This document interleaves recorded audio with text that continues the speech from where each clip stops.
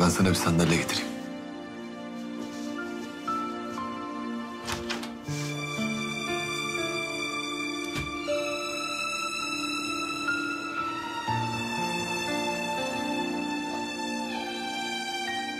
Hanımefendi durun ben çıkartırım. Tamam tamam.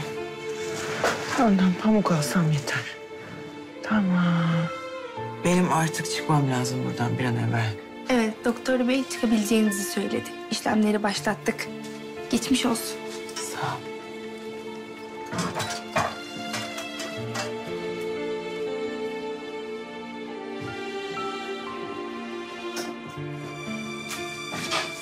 Acele etme, acele etme. Tamam bırak hallederim ben. Tamam bu zamana kadar durdum tek başıma ayaklarım üzerinde yine dururum sen merak etme. Bırak.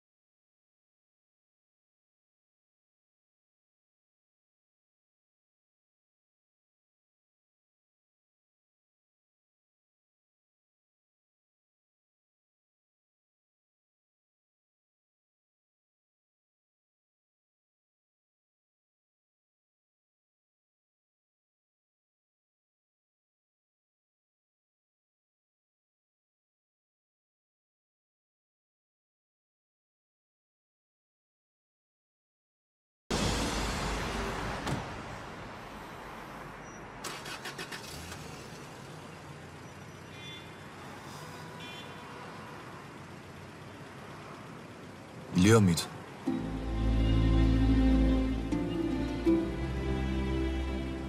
Bu konuyla alakalı ilk söyleyeceğin şey bu mu?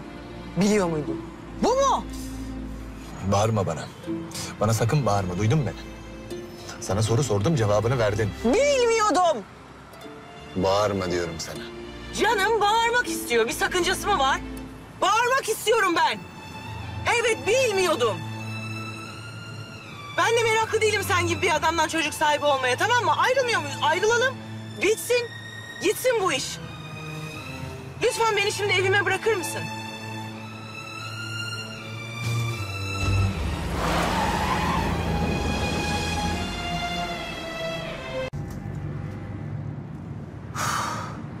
Ne varmış bende?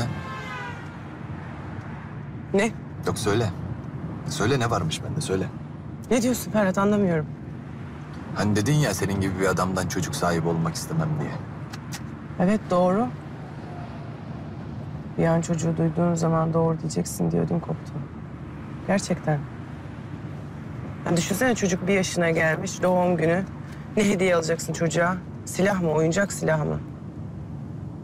Ya da eğitim çağına gelmiş, okul yılları, öğretmeni zayıf not vermiş. Ne yapacaksın? Gideceksin okula, adamın kafasına silah dayayıp sen benim oğluma nasıl zayıf verirsin lan mı diyeceksin? Sıkmayı mı öğrenecek çocuk? Ya da arkadaşları sorduğunda baban ne iş yapıyor diye. Ne diyecek çocuk tetikçi demeyi de bilmez. Silahşör mü diyecek? Aynen. Aynen haklısın, doğru söylüyorsun yani. Hayret hak verdin bana. Ne büyük şeref. Çünkü ben senin o sevgilicilik oynadığın muhallebi çocuklarına benzemem ha. Duydun mu beni? Benzemem yani ben onlara.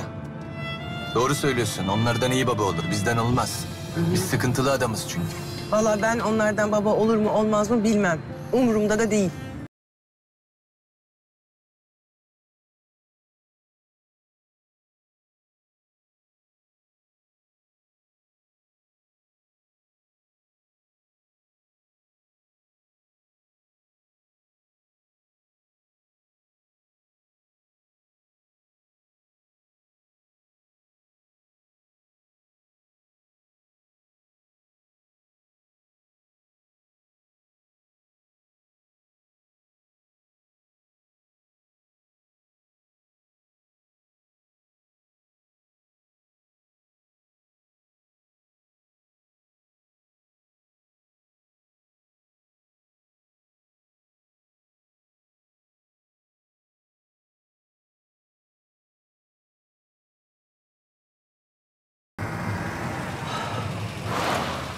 Hadi.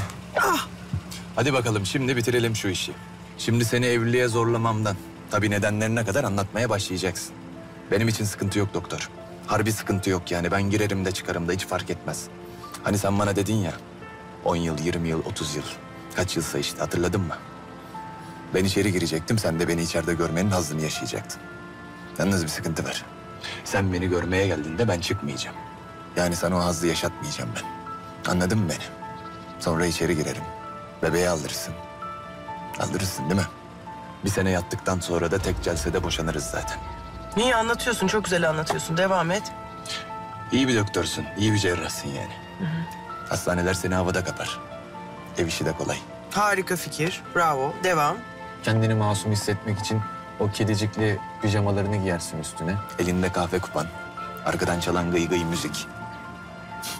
Hayvanlı terliklerini de geçirdin mi altına? Hayvanlı terliklerim. Çok severim. Artık! Çok severim. Hep giyerim. Evet devam. Arkadaşların gelir böyle senin ellerini böyle iki ellerin arasına alırlar. Neler yaşamışsın öyle ah canım benim seni çok iyi anlıyoruz kardeşim benim falan derler işte sana. Yalnız sana bir şey söyleyeyim mi? Söyle. Dürüst bir öfke iki yüzlü sevecenlikten kıymetlidir. Doğrudur. Sen şu an öfkelisin. Evet hatta öfkenin esirisin. Ama maalesef dürüst değilsin Ferhat. Tedaviden vazgeçmiştin doktor unuttun mu? Yo unutmadım. Bitirdim hatta. Evet. Şimdi anlat hadi geliyor. Anlat. Bir sorun mu vardı? Var bir sorun var. Ben biraz sıkıntılı adamım da. Doktor benim sıkıntılarımı anlatacak şimdi size. Bir sorun yok memur bey. Teşekkürler olun. Devam edebilir miyiz? Var. Yok. Devam edebilir miyiz lütfen? Hadi kardeşim hadi. Bekleme yapma devam et. Kusura bakmayın. Ferhat hadi.